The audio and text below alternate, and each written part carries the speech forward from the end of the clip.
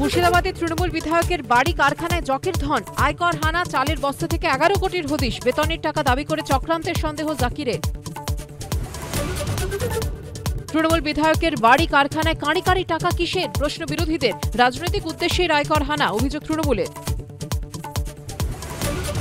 নোনাপুকুরে তৃণমূল কাউন্সিলরের হোটেলে সাঁত্রিশ ঘণ্টার আয়কর অভিযান। প্রচুর নথি বাজেয়াপ্ত কেন তল্লাশি? জবাব দিতে পারবেন আমির উদ্দিনই মন্তব্য তাপসের। চোখ রাঙিয়ে হুমকি দিয়ে কোর্টে ভয়ের পরিবেশ তৈরির চেষ্টা চলছে। বিক্ষোভ কাণ্ডে অবমাননার রুল জারি করে নির্দেশনামায় বললেন বিচারপতি মান্থা। প্রায় চার দিন পার পোস্টার কাণ্ডে এখনও অভিযুক্তরা অধারা। বাসস্থানী পোস্টারে ভুল তথ্য, মন্তব্য বিচারপতি। রেজিস্ট্রির নথি মামলার রেকর্ডে রাখার নির্দেশ। হাইকোর্টে বেনজির বিশৃঙ্খলা আজ দিল্লিতেও। আইনজীবীদের একাংশের অভিযোগ পেয়ে সক্রিয় বার কাউন্সিল অফ ইন্ডিয়া আসছে প্রতিনিধি দল.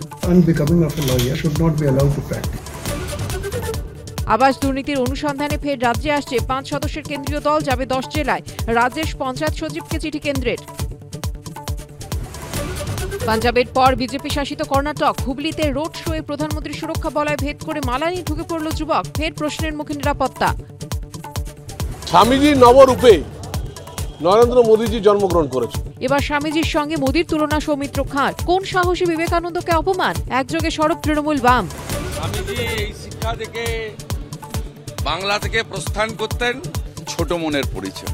এই এই সব কথা বলা এগুলো অনুচিত। হয়েছে আমাদের ডিমান্ড ঢালাইটা করি।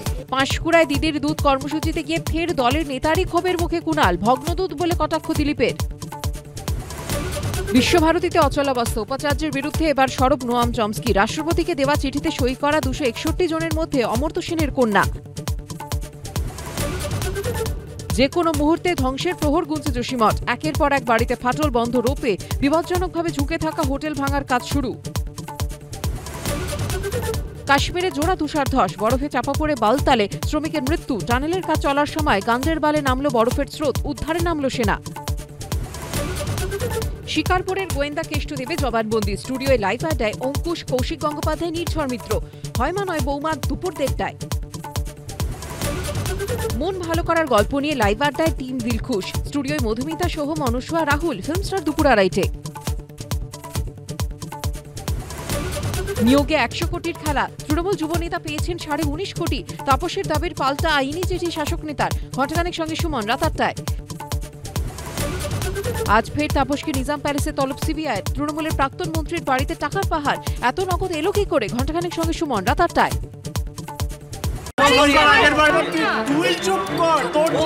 বাংলা ঝামেলা চায় না বাংলা খবর চায়।